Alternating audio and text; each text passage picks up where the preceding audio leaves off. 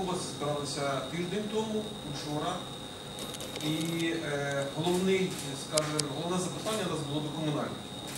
Перше, чи є у вас юридичні та технологічні е, умови для того, щоб розпочати е, опалення мікрорайону? Ми вже не говоримо зараз про фінансові, але це теж дуже важливо в умовах е, того, що Нафтогаз зараз побудовує трішки інші відносини із комунальними та іншими структурами.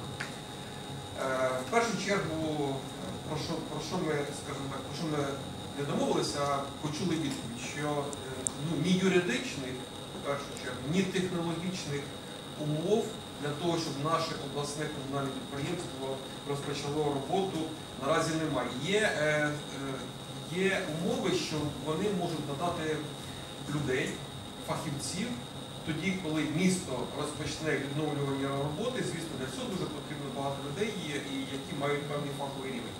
Тоді е, бригади Полтава Тепло Полтава е, Теплоенерго вони можуть якраз надати цих спеціалістів, фахівців для монтування ну, того котла чи тих мереж, які повинні бути на базі цієї котельні 9 мікрорайону. Е, Нас дуже дивує, що е, керівництво заводу взагалі зробило такий крок з приводу е, порізки цієї котельні. Е, Нам просто цікаво, хто їх, хто їх спонукав на це. Я думаю, що це був не самостійний їх крок. Я думаю, що е, вони з кимось консультувались. Не виключно, що, що це було керівництво міської ради.